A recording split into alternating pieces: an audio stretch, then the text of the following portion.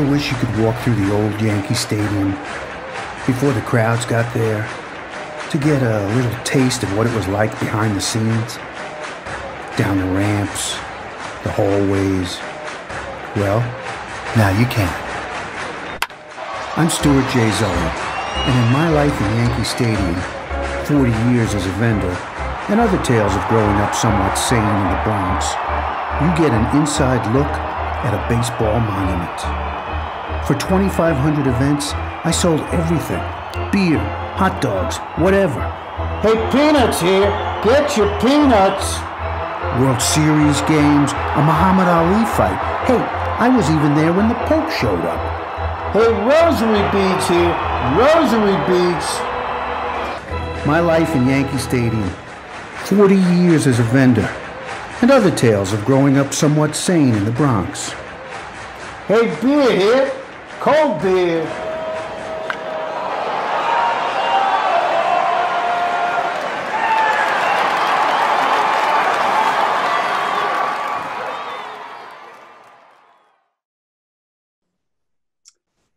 Fifty years ago, in 1970, I started working at Yankee Stadium, where I was a vendor for over 2,500 events. It's all right here in my memoir, My Life in Yankee Stadium. 40 years as a vendor and other tales of growing up somewhat sane in the Bronx. I sold everything from peanuts to hot chocolate, cracker jacks, ice cream, hot dogs, beer with my giant can opener, and in later years, souvenirs. And thanks to Todd, I would like to share a few stories with you here today. Ladies and gentlemen. Welcome to Yankee Stadium. Now, oftentimes the Yankees, the Yankee fans in a section take on a personality of their own, and the crowd in the Bronx bleachers was and still is like no other. Over the years, they have come to be known as the bleacher creatures, and for good reason. They still are a core group of about 40 or 50, and they have rarely missed a single game. Whenever the Yankees take the field for a home game, the creatures cheer for each position player, one at a time, in a roll call. The tradition continued into the new ballpark as when Derek Jeter got the shot out. Now batting for the Yankees, number two, Derek Jeter. Derek Jeter. Derek Jeter. Hey, Rod. Hey, Rod. The creatures go right on through the whole lineup, calling out each player in the field during the opening minutes of the first inning. And the cheer continues until the player being lauded flicks his cap, waves, or acknowledges them somehow. Since 1996, it's become a tradition at the ballpark. Now, though the creatures are a boisterous lot, they have their own rules. Back when the dance along song, the Macarena, was popular, it was played with the fans in the stands up on their feet and moving to the beat. Needless to say, the creatures, traditionalists all the way, would have no part of it. They also abhor the wave. With many tourists in attendance at games, it's become common for the fans to unite and get involved with this section by section cheer, but the bleacher creatures remain defiant. Even when the whole ballpark participates and every level of the stadium rises and sits in unison like a large wave, the bleacher fans stay seated when it becomes their turn, often causing boos to cascade upon them. They are a principled lot, and their refusable their refusal to participate implies eh, if you people want to wave go back where you came from and wave all you want. Though the sale of beer was forbidden in the bleachers during the final few seasons at the old ballpark sobriety didn't stop the creatures from being rowdy. I often heard them yelling to other sections box seats suck! Box seats suck! One night the fans in the box seats answered them with a get a job, get a job. Man, I miss New York.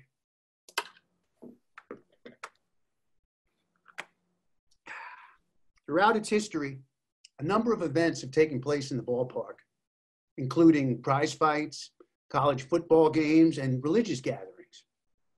My dad, who worked there in the 30s, and once sold Babe Ruth six hot dogs before a game, told me many times of the intense rivalries between Army, Navy, and Notre Dame.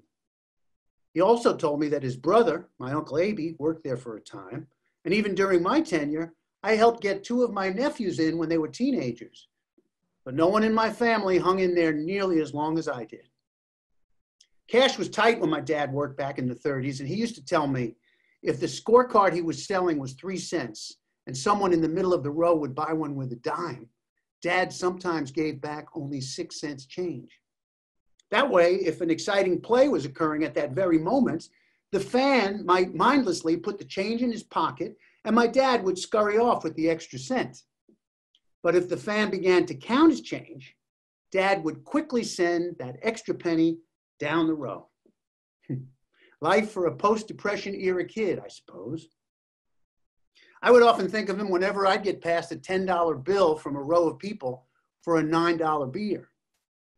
I would slowly prepare to pass the single as I, I looked for a sign from the customer to keep it.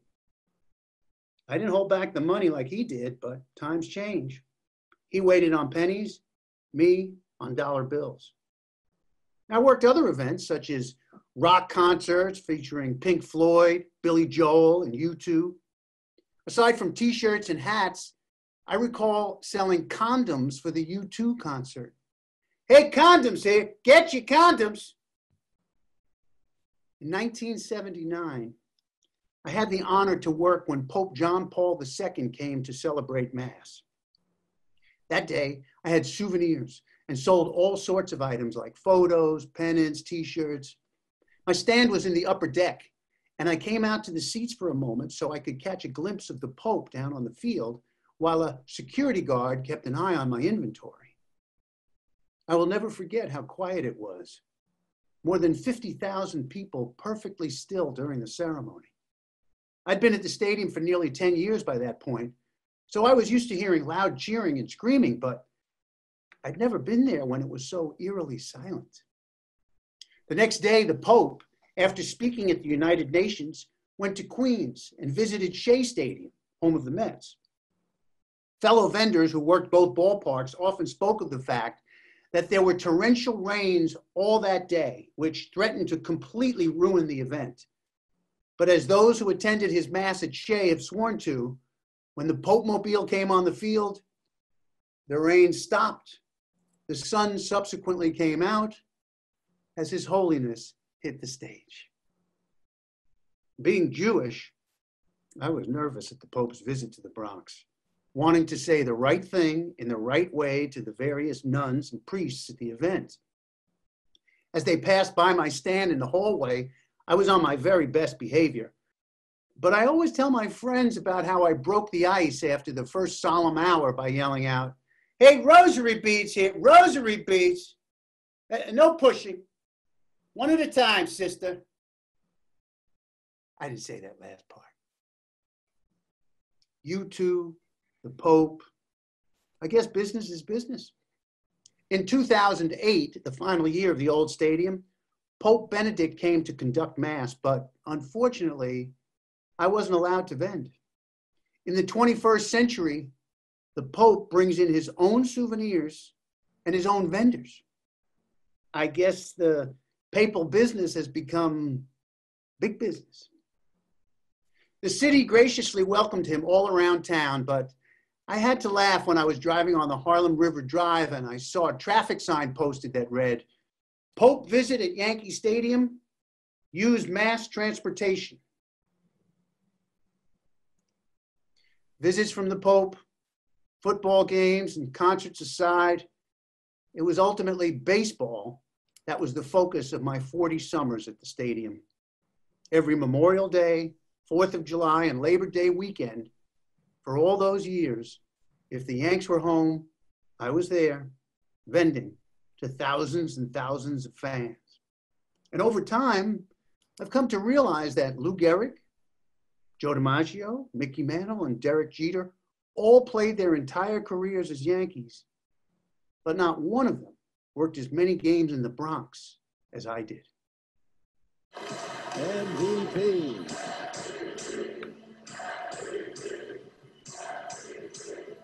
Now, having worked more than 2,500 events at Yankee Stadium, I can say most of the games were usually routine with the occasional pitcher's duel here and a few back to back triples there. However, some nights were different from others. For instance, I was there when Chris Chambliss hit his pennant winning home run in 1976 against the Kansas City Royals. The field was so swarmed with fans that after the blast, Chambliss had to return to the field from the locker room to touch home plate in front of an umpire. I remember the thrill of Yogi coming home after having been exiled by George Steinbrenner for more than 14 years. I saw various no hitters, over 20 old timers games, the gay games in 94 celebrating gay athletes, Charlie Hayes smothering a pop up to clinch the 96 championship, Aaron Boone's dramatic home run of the Red Sox in 2003, among so many others. Another day I won't forget was August 3rd, 1979, the day after Thurman Munson was killed in a plane crash in Toledo, Ohio. Munson had been a, a hero of mine, a, a gritty ball player who did whatever he could to avoid the spotlight in New York, often flying home to Ohio to be with his family on his off days. During a moment of silence for the Yankee captain, I watched Lou Piniella break down in tears in left field from my station near section 20 in the lower deck. I actually couldn't finish work that game because I was so shaken over his tragic death. My diary from that mournful time read He was fat, he was not very good looking, he didn't play up to the press, but he tried. Boy, did he try. I could still see him stretching from first to third on a single to center and belly whopping into the bag, invariably safe. I related to Thurman. I had been a catcher in Little League. I was chunky. I played tough. And I too was pretty ugly. I always took Thurm's side in arguments, and somehow I could feel what he was going through in that Yankee dugout, sensing his fear and dislike for Reggie Jackson. I understood Thurman Munson's terribly private ordeal, trying to simply play ball without wanting to be on the cover of a magazine, avoiding the fanfare in a town that breathes glamour and ignores dedication. His death signifies to me how difficult life really is, how hard it is to do what you want, to love and maintain your family, and still do your job. The American dream drags onward. Some nights were memorable for other reasons, such as when I sang Johnny B. Goode to a whole section in the upper deck and managed to get them all up on their feet to do a sing along. now, that was fun, hearing them do Chuck Berry's hit, but the incident got me suspended for three games. Curious thing was, at around the same time, another vendor had stolen a key to the peanut storage room, and he also was docked three games. I came into work after my suspension a few days later, and someone said I should have been in on the peanut room heist. At least you could have made a few bucks. At another game, I witnessed a beer vendor confronted by a fan who was part of a group of Hell's Angels. Sometimes these angels can be surprisingly charming, but this one happened to be more of the stereotypical multi tattooed, gigantic Igor type. He wasn't happy with the service, got upset, and proceeded to lift this vendor two feet into the air, beer tray and all. Suddenly, a fellow angel grunted, Hey, if you kill him, he can't get us any more beer. That brought Igor to his senses, and the frightened vendor was gently placed down, unharmed. You think dealing with the public is easy? Forget about it. Now, game takes on a personality of its own. And a Tuesday night crowd in June, for some unknown reason, could be cheap or generous.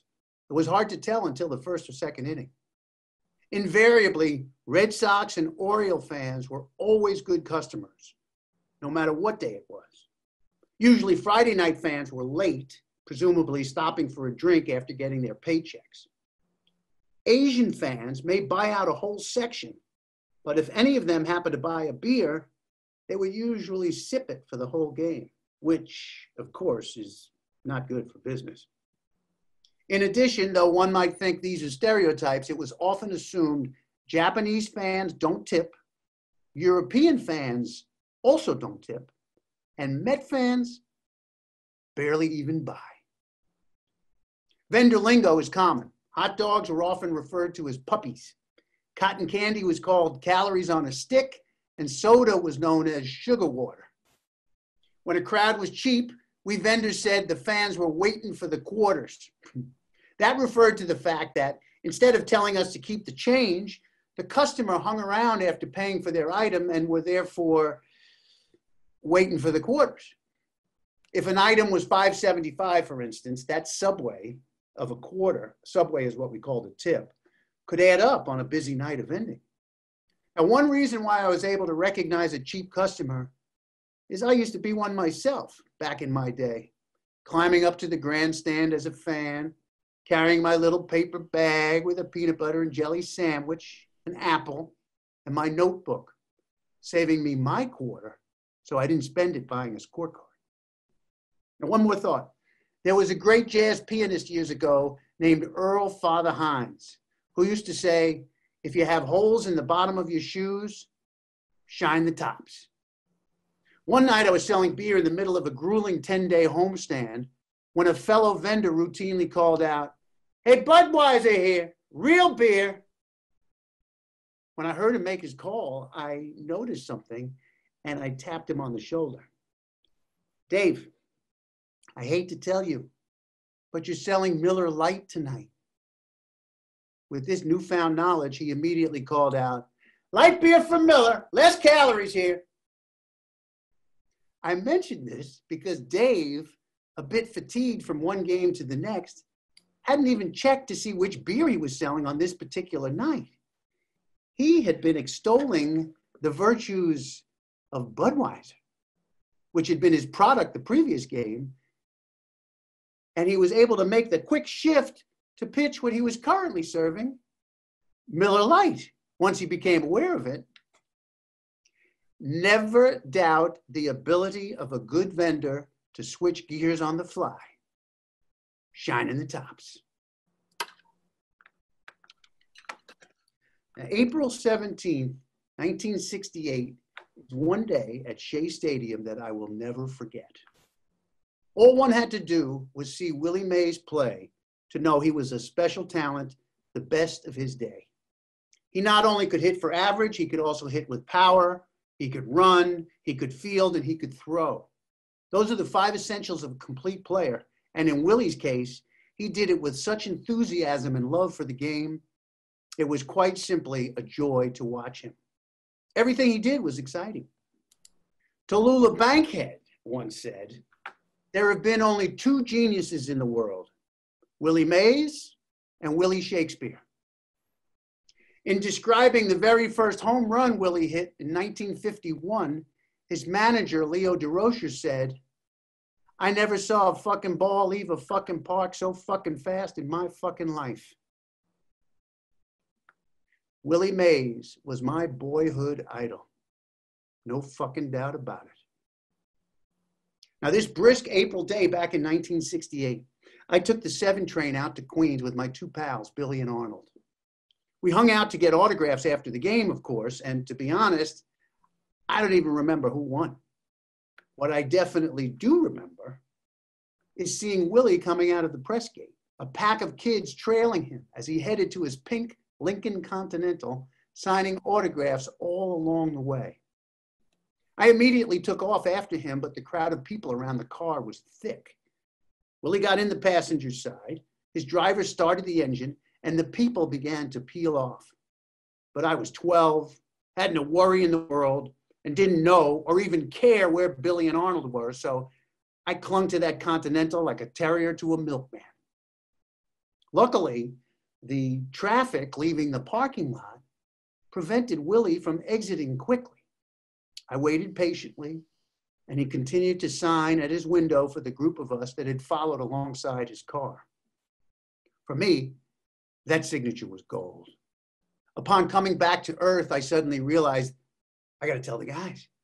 So I scrambled across the parking lot, back near the press gate, till I breathlessly reached Billy and Arnold, who were waiting there to get other players' autographs.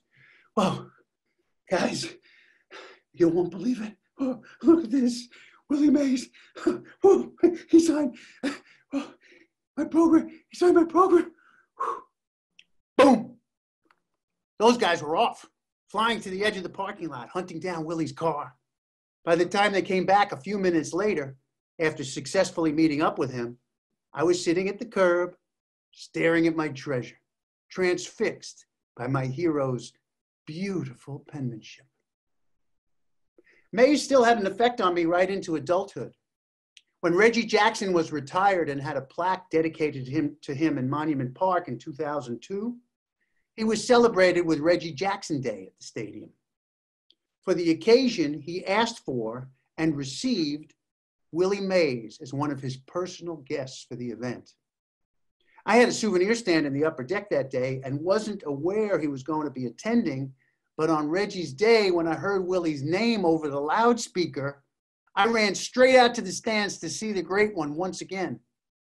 I had left my souvenirs completely unattended, thousands of dollars worth of stock vulnerable to theft. Just the mention of his name on the loudspeaker had me reacting like a kid again, the same way Billy and Arnold reacted back in 1968. Vroom! Now, I mentioned him earlier, so I don't want to leave without sharing a short Yogi story. Yogi Berra, of course, had some great lines attributed to, to him or about him. He famously used to say about a Midwest town, it gets later. Take two. About a Midwest town, he said, it gets late early out there. Or about a restaurant, Nobody goes there anymore. It's too crowded. When he was asked whether he preferred to be buried or cremated, his response was, surprise me. Now, as the story goes, one time he was in Chicago on a road trip during a very hot summer. On this particular day, he was in the team's hotel lobby wearing a white seersucker suit, the perfect outfit for the sticky, humid weather. The team owner's wife happened to be strolling through the lobby when she saw him and she said, Hi, Yogi. My, you look quite cool and comfortable in that suit in this weather. Yogi, quick on the trigger, replied, You don't look so hot yourself.